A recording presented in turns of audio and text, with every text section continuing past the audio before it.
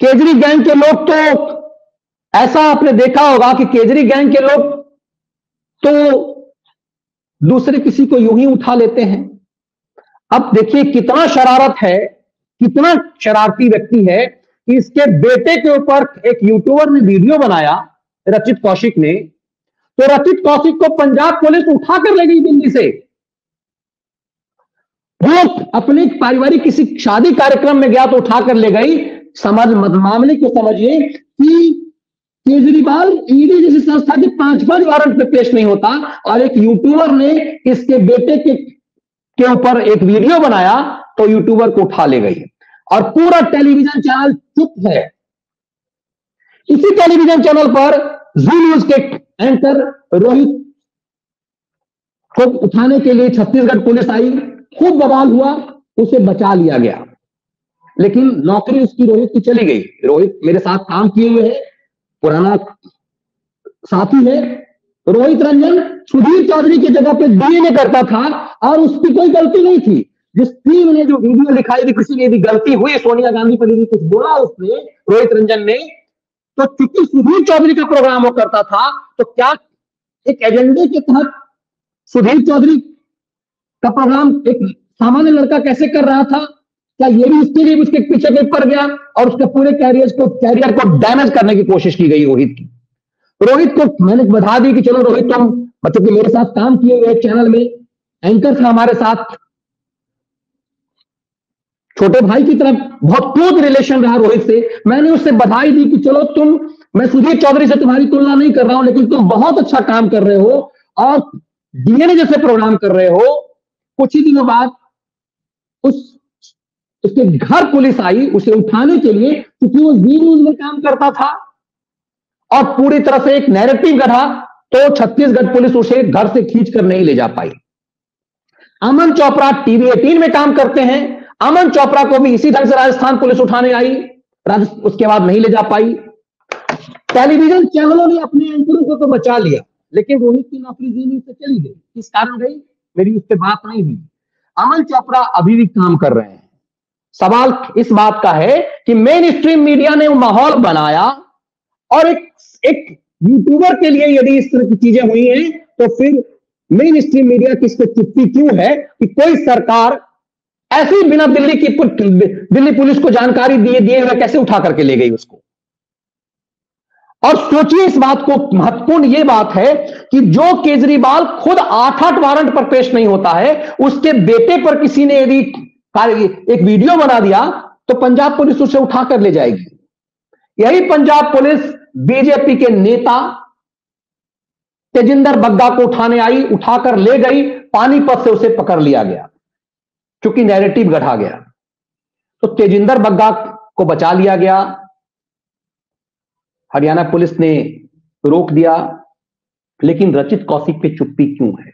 ये इस पूरी चीज़ों को क्लब इस रूप में समझिए कि ये लोग जो नैतिकता की बातें करते हैं ये लोग खुद तो ईडी जैसे संस्था के समझ नहीं पेते और रचित कौशिक को कोई वारंट भी नहीं जारी किया गया। कम से कम यदि तुमने एफ़ किया तो वारंट जारी किया जाता।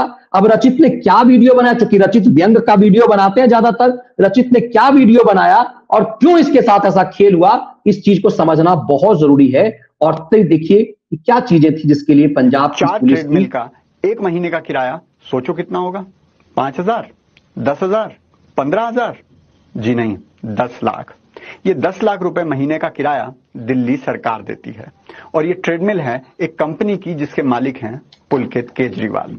घर बैठे अपने ही घर में ट्रेडमिल किराए पर दो और दस लाख रुपए महीना कमाओ, क्योंकि ईमानदार सरकार। लेकिन कभी घमंड नहीं किया, शर्ट आज भी दो साइज़ बड़ी ही पहन। पापा तो कोई और ही लड़का था।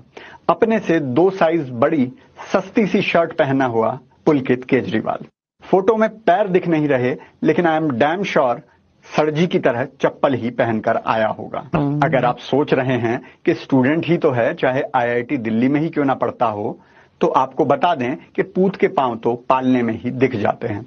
वो आईआईटी पूरी करने से पहले ही 10 लाख रुपए महीना कमाता है। कैसे? केजरीवाल का शीश महल याद है? जिसमें 80 लाख के पर्दे लगे हैं।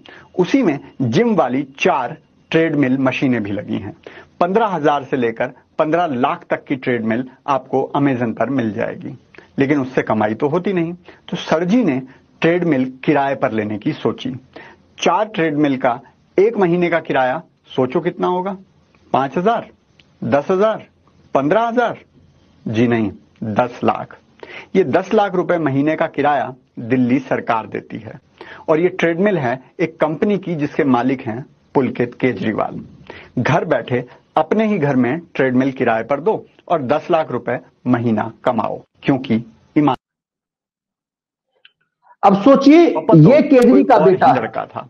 अपने से दो साइज़ ये केजरी का बेटा है और ये जो रचित कह रहे हैं पुलकित केजरीवाल। रचित ने एक बड़ी अच्छी बात कही हुई है, सस्ती सी शर्ट पहने हुए पुलकित केजरीवाल। अक्सर मैं कहता हूँ केजरीवाल को कोई सलाह नहीं देता तुम बौने आदमी हो, तुम्हें अड़तीस नंबर की शर्ट आती है, छियालीस नंबर का क्यों पहनते हो? ये देखिए, राघव चड्डा चड्डी के शादी में ये पार्टिसिपेट करने गया था वहाँ पर, और वहाँ एक शादी में गया हुआ है। इतने धनाढ़ व्यक्ति, हीरोइन की शादी में एक चिकने टाइप के स्टार के शादी में गया हुआ है, रिसेप्शन पार्टी में, और उसमें कपड़ा कैसा पहने हुए है? छत्तीस नंबर के बदले अड़तालीस नंबर का शर्ट पहने हुए और बिल्कुल ना कोई बेल्ट, ना कुछ कुछ नहीं, बिल्कुल ऐसे ही कि सिंपलिसिटी दिखाने के लिए। तो क्या केजरी अपना विकल्प इसी को चुन रहा है? और इसके सच पर के लिए एक वीडियो बनाया तो रचित कौशिक को पंजाब पुलिस उठा कर ले गई। बताया जा रहा है कि एफआईआर एक दूसरा मामला दर्ज कर लिया गया है और उस मामले में इसे इसके पीछे चूँकि इसी वीडियो के लिए दूसरी वजह से एफआईआर करके ले जाया गया। ऐसे ऐसे कितने वीडियो पाड़ाओं ने देश के गृह मंत्री के खिलाफ बनाए, सनसनीबाजों ने कितने वीडियो देश के प्रधानमंत्री के खिलाफ बनाए, इस देश में पूरा इकोसिस्टम सालों तक किस तरह से गुजरात के मुख्यमंत्री के खिलाफ षड्यंत्र करता रहा, आज तक किसी पत्रकार के खिलाफ कोई कार्रवाई नहीं हुई।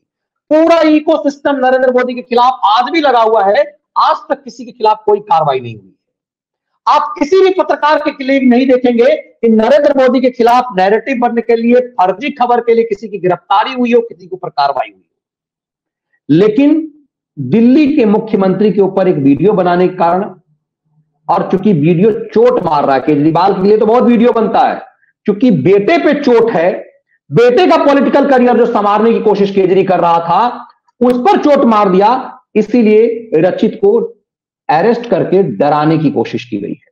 सवाल यह है कि क्या इस देश में सिस्टम कुछ है?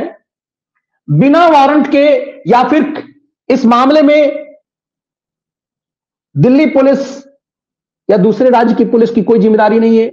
या फिर यूँ कहें कि चाहे अमन चोपड़ा हो, चाहे राजीव रोहित रंजन हो, ये सब चूँकि नोएडा या गाजियाबाद में थे तो प्रेशर बनकर के यूपी पुलिस की या फिर योगी आदित्यनाथ के दबाव में चीज़ें हो गई और चूँकि वो बड़े चैनल में काम कर रहे थे, इसीलिए ऐसा हो गया। क्या सरकार जो अपने आप को कहती है, आम आदमी के हैं, उसको वो आम आदमी इतना खास है कि उसके खिलाफ कोई कुछ नहीं बोल सकता?